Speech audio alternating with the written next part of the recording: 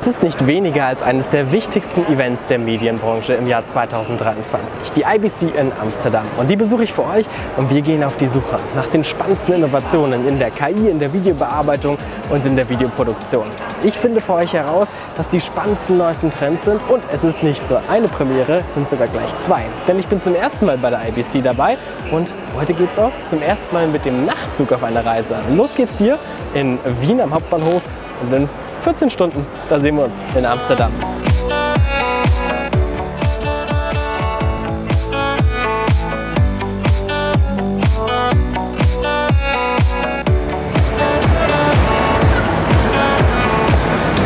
Entspannt und ausgeschlafen geht's nun los, denn ich bin angekommen in Amsterdam. Nach 14 Stunden im Nachtzug mein erstes Resümee. Frühstück war gut, eine Dusche gab es sogar auch im Zug und geschlafen habe ich auch ganz gut. Deswegen kann ich empfehlen, coole Alternative zum Flugzeug. Und jetzt geht es noch einmal weiter zum RAI, zum RAI Amsterdam, wo die IBC alljährlich stattfindet. Dahin nehme ich euch mit.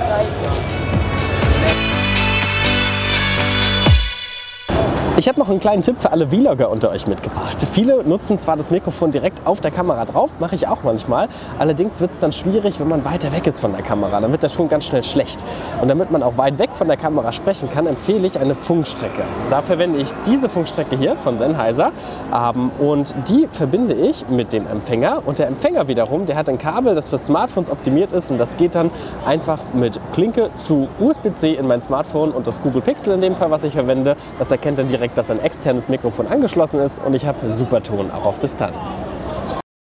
Sobald man hier ankommt, spürt man die Energie der Masse. Viele Leute strömen in die Messehallen, alle kreativ, alle auf der Suche nach neuen Ideen und Impulsen und das finde ich sehr motivierend.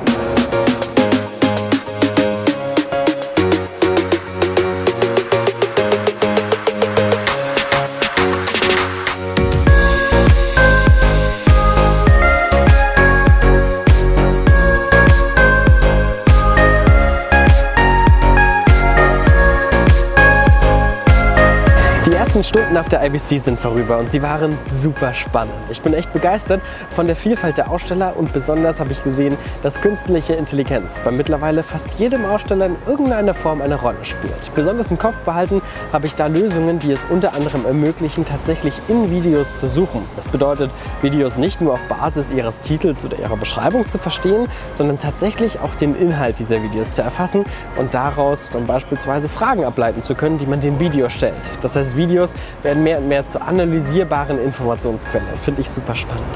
Aber auch automatisierte Kamerafahrten mit äh, krassen Kameraarmen oder äh, ja, Funktionen, die ein Storage und ein Arbeiten komplett in der Cloud, also mit zum Beispiel sehr schwachen PCs ermöglichen.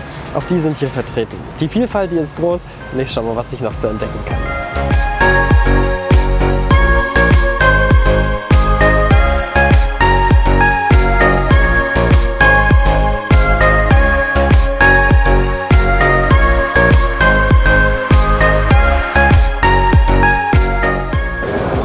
Geht's los mit der Speech von Jordan Ohm hier in der IBC Showcase Stage.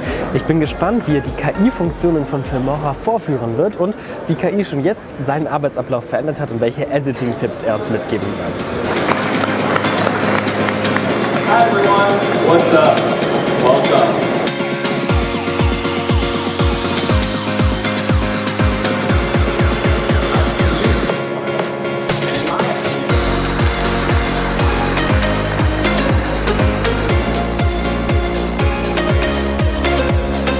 Die IBC 2023, die hat mich wirklich begeistert. Sie hat gezeigt, dass sowohl die großen Player als auch die kleinen Unternehmen am Puls der Zeit sind und Veränderungen aktiv voranbringen. Ja, Filmora ist hier auch ganz vorne mit dabei. Es geht darum, dass neue Funktionen schnell etabliert werden, dass sie schnell ausprobiert werden können und all das, das ist der Fall und das macht mich super stolz. Lasst uns gemeinsam schauen, wie wir diese Learnings nun in unsere Arbeitsabläufe integrieren und ich freue mich schon auf die Highlights der IPC im nächsten Jahr. Bis dann!